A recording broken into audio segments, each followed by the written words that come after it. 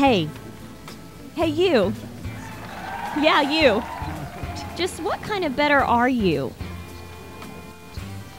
Do you like to win a little here and win a little there, or do you aim for one big payoff? Some people, well, they like to take the simplest route to winning bet a horse to win. Others, well, they like to build their anticipation over several races, like pick three or pick four bets. Let's look at some of your fellow bettors. There's the Lucky Charm. He's got a lucky color or a lucky number, or maybe he's looking for a lucky name. Or something about one of those horses out there that's going to make them a winner. Watch the body language of the jockey or the way the coloring of the horse looks. Hey, that looks like a four leaf clover. Wow. Did you see the way the horse just looked at you? Well, that's a sure sign he's going to win.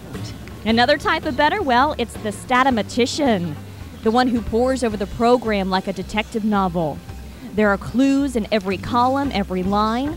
He's comparing each horse, his weight, breeding, past races, how he's fared on rainy days. Has he run recently? Is he in a longer race than he's used to running? Does he usually run fast the first few furlongs, or is he a slow starter that makes it up at the end of a mile? Before this man bets on a horse, he knows him better than he knows where he parked his very own car.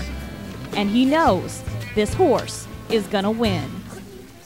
Over there, well, it's a classic example of the jockey groupie. She doesn't care what horse is running in this race, she bets the jockey. It's the jockey who guides the horse, holds them back until the right moment, and then pushes them for all they've got. The jockey will break through the hole in the pack to make that exciting run in the late stretch. And this next race, well, it's tailor made for their jockey. She knows the weather, the time of day, and yes, even the horse that is the perfect bet for a sure win. Next to her, well, it's the value bettor. His strategy is pretty simple. What's it worth to him? Even money, well, it's a pretty sure bet, but this one goes for the big payoff. He's on the prowl for a good long shot. It's got to be the one that's going to win, but he's got to be the only one who knows that. And that brings us to our next bettor, the close to the vest guy. He's got a secret. How he got the secret? Well, it could have been through any of the methods that we've looked at. But now it's his secret, and he's going to make sure no one else is going to bet it. He feigns to the right, he fakes a look to the left. He slides into that mutuel window when everyone's back is turned.